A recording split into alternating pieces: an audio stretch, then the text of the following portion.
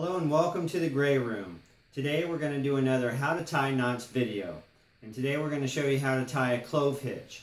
We'll use a rope with two different color ends so you know which end we're using at all times. So let's go ahead and see how that's done. Okay, so the clove hitch is a pretty simple knot and it's good for tying to a pole or to a bar or something like that. Now the first thing you're going to do is get the rope behind what you're going to tie it to. Then you're going to make an X in the front of the rope as you bring it around with the red side underneath and the blue side on top.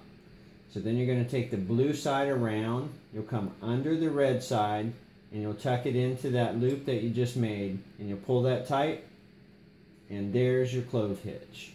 So we'll do that one more time so you can see it again.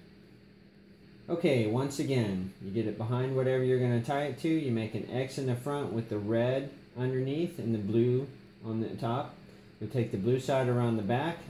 You'll come underneath the red side and through that loop that you just made. You pull that tight and there's your clove hitch.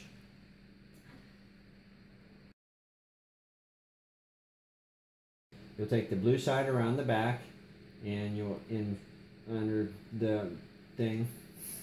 Yeah! Hey, thanks for watching. Go ahead and click on one of those links to keep watching more of your favorite videos. And to make sure you stay on top of all of our new content, don't forget to subscribe.